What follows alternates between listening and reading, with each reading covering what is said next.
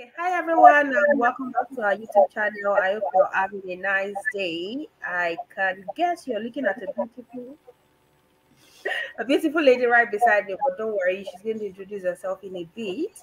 However, we brought you something very exciting and you know amazing today.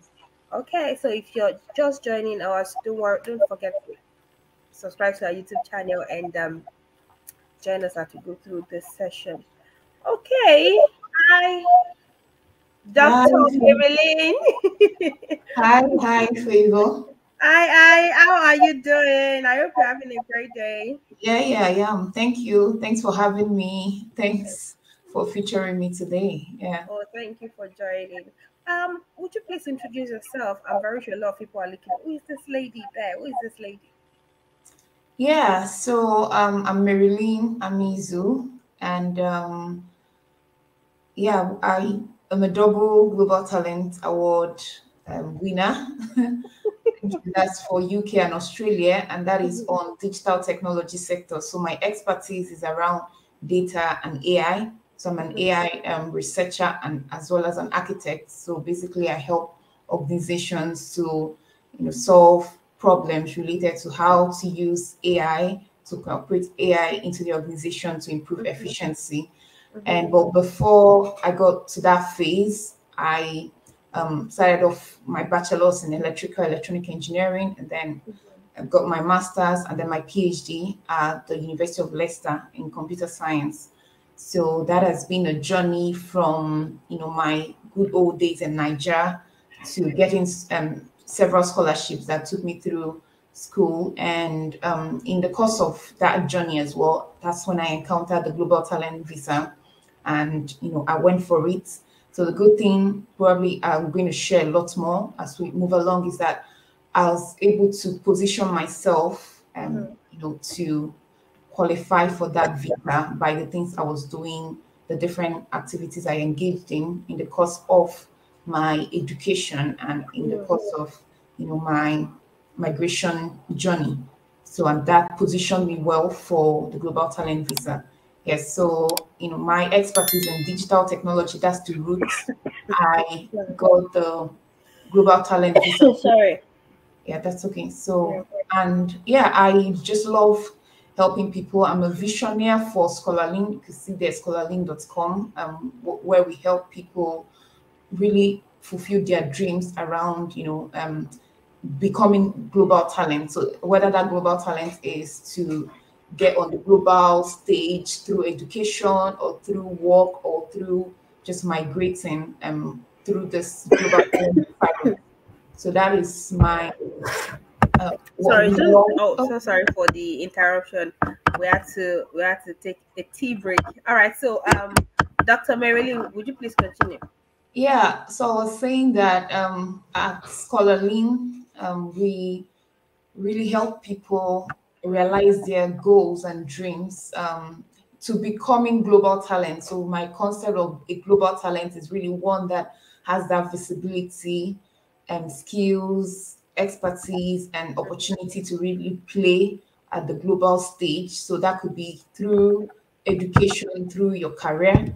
And um, yeah, so that's really what we are passionate about. And that's what we help people do, um, do whether through the global talent visa and migration path, helping them, you know, get the endorsements or through helping them um, realize their educational dreams and, and, getting admissions and scholarships and or through um, the work routes to actually prepare their application for you know to get job in mm-hmm. the global stage as well that's absolutely amazing. I must say, well done for for the things you do for the world. Thank you so much for that. I know a few people urge global talent visa. Da, da, da, Okay, okay, okay, okay. Yes, yes. She's still going to talk about it. Trust me. Um. So I just want to ask, how did you hear about these visas? Okay. Um. So I cannot remember the very, very first time I heard about it, but I know um that one of the few times I heard about it then, it was through a YouTube, you know, just came across, stumbled on a YouTube video mm-hmm. about it. And the first time actually I heard about it, it was looking like it's impossible for me to apply for this. And Mm. I did also, I think someone shared the link. Maybe that was the first time someone Mhm. shared the link, and I just went on it and I saw everything that was listed there, and I Mhm. just disqualified myself. I assessed Mm. myself immediately and said, no, this is, in Mm. fact, the name Global Talents, it's intimidating on its own. Mm. Global Talents. I'm like, no, I'm not, I'm Not qualified for this at all. I am very a lot of people are on this table. Yeah, yeah, Very exactly. sure a lot of people are on this table as well. But we're not Exactly. breaking the table anytime soon. so they sometimes they use these names that are so exceptional talents, global talents, and it makes you feel okay. Maybe I need to be a Nobel Prize winner before I Mm. can actually um, be qualified for it. But most important thing is being able to meet the criteria, understanding what is the vision behind um, what the that particular country is trying to achieve. Here, they are trying to get the maybe highly skilled workers Mm. who are highly skilled at what they do in target sectors Mm. come into or migrate to that country. So you look you'll be looking at do I actually have the skills to Mhm. meet that criteria and Mhm. be eligible for this rather than just being bent on okay the name, how how it's worded and you know the hype around it. I, I absolutely understand. I think I bumped into it some time ago, but I had not had time to actually look into it and what it entails. I might have to after this video. Okay, so I'll use myself as an example. So I'm going to create a persona, then we're going to walk through it so that people can understand. The, the, the next thing I want to ask is me as favor, for instance, what do I need? Um, what do I need to know about these visas and how do I plan? Like, how can I plan when applying for these visas to get it? Okay, you're bringing in your marketing, the persona. What is the persona here? I thought you wanted to give me like you know you're this, you're being here. You, Okay, so a persona is like creating a, a fake or real person, just like you're, you're targeting this person. So, Favor is uh, an undergraduate or a graduate of marketing that wants to get the global talent visa. What do I need to do to get it? Good. Yes. So um, uh, the first thing is to really understand your eligibility, right? So Okay. when people we meet different kinds of persons. So there are persons who, yes, are at that point where, oh, I really don't know what this global talent visa is about. Perfect. Can you tell me more about it? And then some persons are like, um, the next question after that, that first, okay, this is what the global talent is about, would be, am I eligible Mm, for, for it? And by that point, you're you're going to be looking at their profile to say, mhm, okay, here are the indicators to your eligibility, and here are the things we think about your profile as to whether you'll be eligible or not. So the first thing, yes, will be understand this is what the global talent visa is about. These are the Mhm. sort of persons they are looking for, mhm. and, and then go further to know uh, understand your eligibility. Now, in terms of eligibility, I do see as well that it is not a binary thing to say. It's not like yes, you're eligible or no. I mean, there's some profile that really, really maybe off the track, and it depends on the sector. Again, when the concept of global talent visa, it's not that if you are not eligible, it means you're not a global talent. It just means that this um, the countries are looking for something specific, right? Is based on maybe their uh, overall strategy, the sort of um, workforce they're looking for, the, the economy, what they need for their economy, right? It's not a, always a factor of maybe you are an exceptional person on your Mhm. own rights or not. Mhm. So if you you might actually be very good at what you do, but then based on their criteria, based on what they are looking for, you might not fit into that mold, right? And then and there's so many migration options. So global talent is you know can be one of them, but then it could also be some other migration options. So those are the things that you know you'd have to factor in. Would I be eligible for this? And if I'm not eligible, the next thing would be what can I then do? What would favor do to be eligible? And that might be that okay, you're going to spend some time working on your profile, working on yourself to, in order to attain to that level, especially you know if it's along the line of your interest and passion. You know, so for example, we could say when, when we do that initial assessment, we could say, okay, you are not very far off for what they're looking for, but these are the gaps, right? So these are the things you need to work on and you spend some time to strengthen your your profile and ready for that application. Yes, so those are the initial things and like to I would say to start off with. Okay. So uh, it is beginning to get clear. However, I want to ask so, do I need a job to apply for this visa? Okay.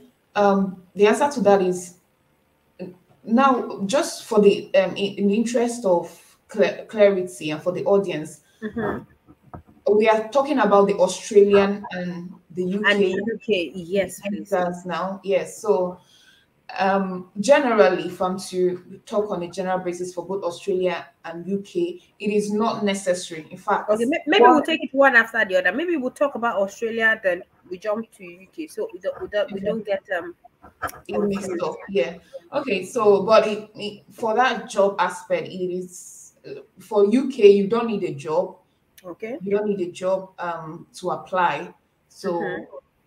the only thing is that the achievements from your job, right, whether present or previous job, could actually count towards maybe your contribution in your sector. So, for example, they are going to be looking for um, the sort of work you've done in that sector. Maybe it might be present, it might be past, right? And they you would usually have, for example, the um, UK application will require you to have evidence from the past five years Okay, so give me a, can you give an example of evidence? Okay, so for example, um, let's say for the job aspect in particular, let's say you uh, let, us use favors persona now marketing, um, mm-hmm.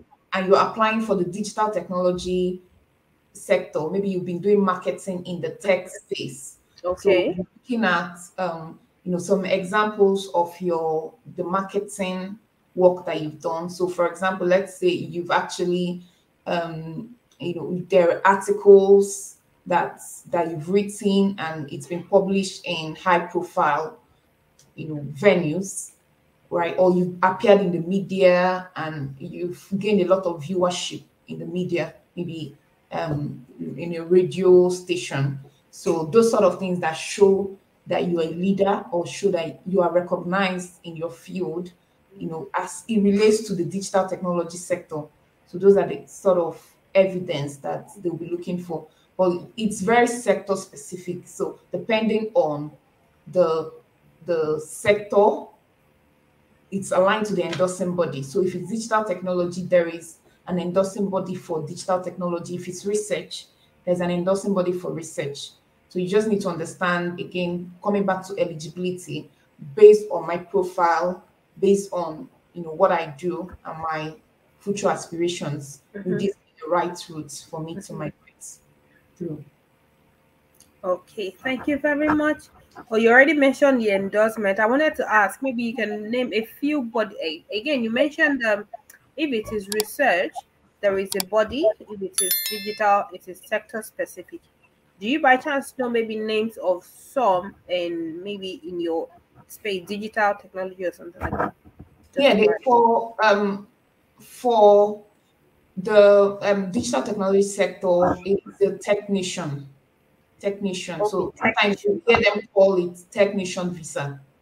Then for um, arts, you also have there's a body for arts, you know, the British Academy, um, mm-hmm. Arts Academy or thereabouts. So and then for research, depends if it's engineering, there is the Royal um, Engineering Society and um, mm. and the, the rest, Royal Society for Sciences as well. Mm-hmm. Mm-hmm. Okay, that that makes this, this, is we're still talking about UK here, right? Yes, we we we talked about UK now. So do you want to talk about Australia then? Yeah, for Australia, um, it works slightly different. in terms of endorsing body here, there for the application, there are two stages. There is the first stage, which is the endorsements, Mm-hmm. both for UK and Australia. And then the second stage is the actual visa application. So what we do help with at Scholarleen is really the endorsements phase because Mm. that's where you are you are bringing in the technical expertise to help you put together your application. So once you have that endorsement, you can then go out, go ahead to apply for the visa. So the um, for Australia, they they have priority sectors for the application. But Okay. the endorsing bodies that they they have is just we just have two endorsing bodies Mm. are more of organizations that can nominate you for the application rather than endorsing body for the, the routes. So you don't have endorsing body for, for example, digital technology endorsing body for the application itself. It's open to everybody. But if you are looking for a nominating organization, then there are two, at least as at the last time I checked, there are two organizations. You Mhm. have Engineers Australia and the the one for um, ACS Australian Computer Society for um, those in tech, right? And the reason you have them is for Australian application. One of the criteria is that you would need a nominator.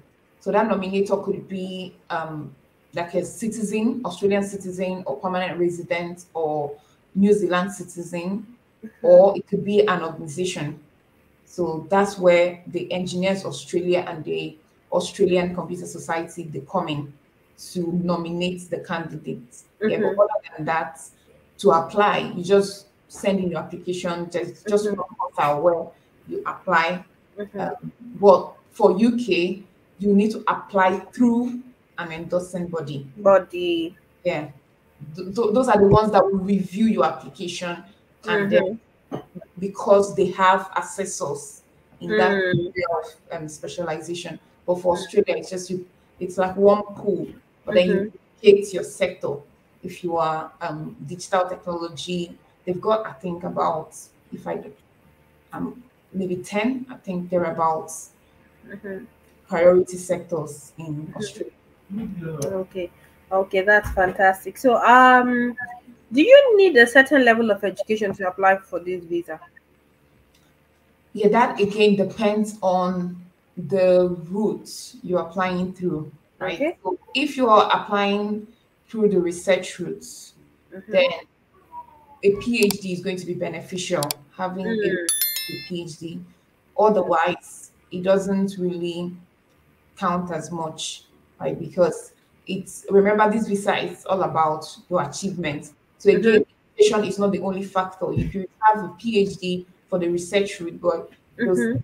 for your achievements in the sector, where, um, you know, how you've been recognized, what you've actually achieved, you know, in your career. So education can be an add-on, you know, beneficial for Mhm. research or academia routes. Other than that, it's not really going to affect. Your application. Okay, that, that makes so much that makes so much sense. So, uh, what what's the duration of, of of the visa? Take for instance, how long does it take to apply? Then, take for instance, you run out of the visa. What's the what's the renewal process like? Okay. Um. So this type of visa, let me speak for UK now. This type of visa is the type of visa that is called the U the, for the UK Global Talent Visa. It's Mhm. the type of visa that is called a route to settlement visa. So, which means it's a visa that can lead you to getting permanent residency, what we call indefinite leave to remain in the UK. So, which means by the end of the visa or by the expiration of the visa, if you've met all the conditions of your visa and your residency, then you should be, you know, applying for permanent residency. In which case, the case of renewal does not apply. The only time a renewal would now apply is maybe you've not met all the conditions of your residency, and then you need to renew the, the visa, and they have set criteria on how to go about renewing it. Then for Australia, Australian um, Global Talent Visa is a permanent residence. It's a permanent visa, so it's when you get the visa, you've already gotten permanent residence. Mm. Means That's, that, that's a lot. That's a nice one. That's a nice one. But how, how- how many years? Okay, uh, I know, I know, I know. I, I'm not sure if it is three years or five years for UK. Is it three years or five years? again, it depends on the endorsing body. Some Mm. of and the route. So it could be three years, it could be five years, depending on the endorsing body and the track that you apply to. So if for some endorsing bodies that have got exceptional promise, so exceptional promise is like someone who is really at the early stages of their career. Mm-hmm. That would be five years for some endorsing bodies, though. And uh, exceptional talents would be um, um, for three years. So it depends on both the track and the endorsing body. For some endorsing bodies, you know, whether you are early career or not, you still get three years. Okay, okay, that makes sense. That makes sense. Uh, okay, so what advice would you give individuals considering to apply for this visa? Okay. Um, People like favor. people like this. yeah so what what the first um like i mentioned earlier well before that phase we need to we need to plan so at the point of consideration um that's the point where you need to get lots of information get all your information start planning like for me before i even got to the stage of applying i think i spent you know some months really gathering information, checking if I was ready for it. Also need to check, am I even financially ready for this? Am I emotionally ready? Because there is the emotion, every the stress that comes with it, the pressure of putting those that work together. I mean, it's not a walk in the park to put that application together, which is also what, what we try to do at Scholarleen to really help people alleviate that whole stress of the process. Am I mm-hmm. getting it right? How do I put all this my experience, relevant experience into an application that is going to be sound and that is going to be you know top notch for for this application because it's a very very rigorous process Mm. and you don't want to invest all that time and you end up putting Yes. something that is you know it's one thing that i just remember the case of one of the persons we worked um, we coached and in her case it's not even a question of she didn't put an application together you could be putting an application together but what you're putting together does not align with what they're looking for Mm. yeah, you could spend months, but then those months were effort in the wrong direction. Mhm, mhm. Everything you're doing, you're not really meeting up with what they are looking for. Mm, At the end of the day, you might end up not being successful, like the case of that lady. And Mhm. Where she met us at that point where she had already applied and Mm. it happened that she was rejected. So it, it was more like a reworking the entire application, restructuring it, putting things in the right place. So it's important to get the right information and to really plan. Like I said, you know, migration can be it's it, it's it might not always be a sprint. It can be a marathon, especially for Australia, where you could put up your application and it could take like a year. Mhm. it could take six months for some persons it could take one year um one month or a few weeks. So you really there are uncertainties around when to get a response. This is not the case for uk uk has more you have more certainty on at least i will get a response even if the response is not successful. At least i'm i'm getting this response in the next five weeks. Mm. but the australian one it could drag for a long For a long time. so you need to have all of that at the back of your mind and have a plan, a strategy. And yeah, if you're looking to really put that plan together, this is also where we can support you um, and coach you through how to plan. So you can have your plan A, plan B, plan C, and you have clarity on how to go about it as well. That, that makes so much sense. Um, I believe it's been an exceptional session hearing more about Global Talent Visa. I am also learning myself. Again, you know, we're using Favor as a persona. Favor is interested in applying for the visa and she does not know anything. What are the things she needs to do? She needs to understand that, oh, do I fit into this category of visa? She needs to know what kind of um, sector she fits into. Take, for instance, I am a marketer uh, I can assure you one thing: I would never, no, no, I won't use the word never. I might never function well in the biology or chemistry department. So imagine I want to apply for a global talent visa, and then oh, just because I had it's interesting, oh, I mean it, it leads to um, permanent residency, and then jump into the chemistry. You can imagine the level of unfortunately we can't. Yeah, I, you know the rest of the story. Okay, so thank you very much, Dr. Marilyn. I, I wanted to ask one more thing again, and um, are there any strategy or or knowledge that help you during your process when you're applying for yours that, that can be really helpful to other people?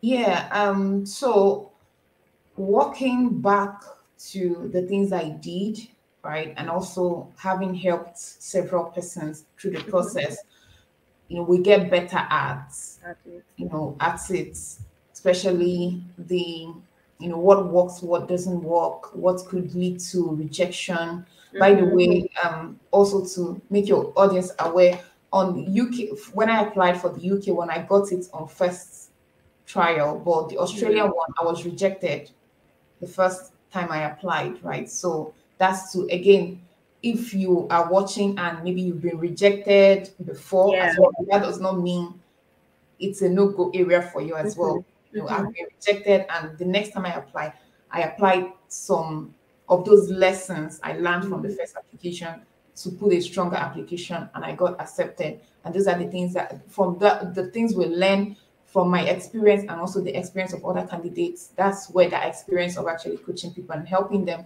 avoid those mistakes coming you know mm-hmm. so um, for me it is the, being organized is is very very important because you could have lots to say but if you don't put it in the right place it will be all over the place right mm. you, like you favor you are multi-talented you and you can have like so many things to say or to put exactly. together in your application right but it needs to be structured in a way that it's understandable you know it's clear and it can sell you it's about selling yourself. It's like mm. you're you have to sell yourself. So you need to not be scared to really sell yourself and blow your trumpet, but do it in a way that it is it's honest about your what you have actually done. You know, mm-hmm. it's portraying you in the mm-hmm. right way as well. So these are some of the bits and lessons and things we keep learning as well as we keep working with with yeah. people. That's absolutely um, amazing. So, how have you um, utilized your visa to network with professionals in the industry or um, organization you work or all of that? Yeah, I mean, um, one of the beautiful things about the Global Talent Visa is that it gives you that flexibility that you wouldn't get on some other visas, right? Some other visas, I, I guess you may have heard or come across these layoffs happening across industries, right? People mm-hmm. getting laid off, and mm. how devastating it could be. Perhaps mm. your, your, family, you're already on a visa, and mm-hmm.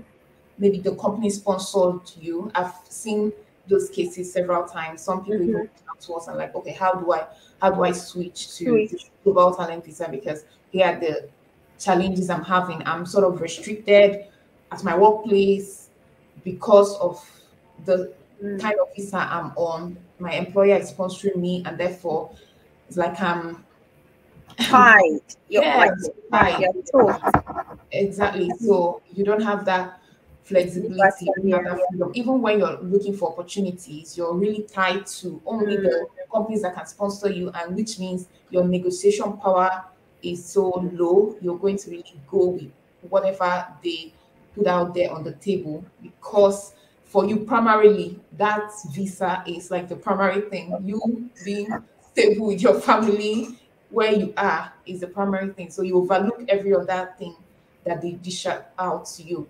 So i'll say that alone gives that i call it peace of mind visa. Like you have that peace of mm. mind you have that flexibility you know, to really do what you love not being restrained um, Mhm. that, yeah, that has given me that um, opportunity to really connect on things I really want to work on Mhm. and people like I want to work with, organizations I want to work with, and also you know the fact that just as I'm, as I'm having this chat with you as well, this sort of engagement and collaboration, be- having the opportunity to share my experiences, experiences of people that I've um, engaged with as well, and to support them. Like you, you said, information is um, power. When we're talking off camera, like information is oil. Yes, I, I, say, I say that all the time. yeah, I say that yeah. So if you have the right information, at least it's a step forward to actually Mhm. um, get into your dreams. So I cherish this sort of opportunity to engage people, to share my experiences, to tell them here is what is possible, so that at least you can have it at the back of your mind. Like I said, when I was actually preparing myself for this visa, I didn't know this visa existed. So I was Mm. doing things that was taking me in that direction. So when the Mhm. opportunity came, I was almost prepared for it because I've been doing those things. So it could just be a factor of, oh, maybe I'm not even ready, but I know that this thing is there, is an option. I'm probably, maybe I'm studying now, you know, and probably in two years' time, when I'm done with my program, in three years' time, I'm going to be ready if I'm Mm, things, or at least I can even understand what is the strategy of this country. Every country has a strategy strategy. every country has an action plan. Those action plans could be 10 year, five year action plan. And just by also being strategic as a person to put yourself in that right position, maybe uh, by the time you are done with the, what you're doing currently, you're going to be in the right place to harness those opportunities that come along the line. So it's all about being prepared, being Mm, being at the right place and doing the right thing so that when the time comes, you're not going to be stranded and at a disadvantaged position. Thank you very much. I believe you've had um I believe okay, now I'll use myself for for example. I believe you've had a lot of things written for every single person going to watch or watching this video right now. Maybe you're eating your popcorn or munching on your favorite snack. This is to tell you that you can restart, you can kickstart, you can redo, you can achieve. If global talent visa is one thing you want to push forward, it's something you want to try to achieve within uh, maybe the next one year. Exactly what this conversation is about is how to help you get it right. I hope you've been able to learn from Dr. Marilyn and our persona favor, not my own favor, anyways. But, but I hope you've been able to learn I, one I love the persona thing. So um, thank you to everyone joining us um for this session. Thank you so much, Dr. Marilyn. Thank you for sharing your time with us. I mean, time is money, just like information is wealth. Again, I, I created created that quote. If it does exist, please do us share the uh, the author. But in just my head, I, I tell you, um, information is wealth. Time is money. Thank you so much for the time. If Thank you. want to move forward or if you want to learn more about Global Talent Visa and you want consultation, feel free to reach out to www. Okay, just go to the website www.scholarleen.com and book a consultation. Let's see how far and how much you can help a lot of people achieve their goals. Thank you very much. If you're not subscribed to the channel, no, that is all shades of wrong. No, don't do that. Just go below, click on the um subscribe button, and keep turn on the post notification because of course we got some juicy information coming, and then we won't audit. No, mm-mm, we're not Thomas. We won't doubt either. But look forward to getting more information from us. Thank you very much, and have a nice day. Bye.